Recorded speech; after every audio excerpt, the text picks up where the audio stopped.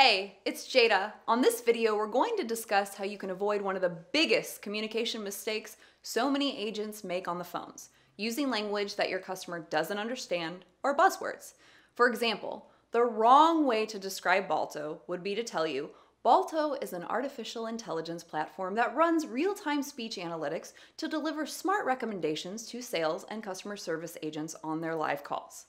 The simpler and more effective approach would be to say, Balto is a technology that helps agents do a better job by coaching them with the best things to say while they're on their calls. So the next time you're on your calls and using words that you'd never say to your friends or family, stop and simply tell the customer what your solution does and why it's helpful. Customers will find your pitch much more persuasive, onward and upward.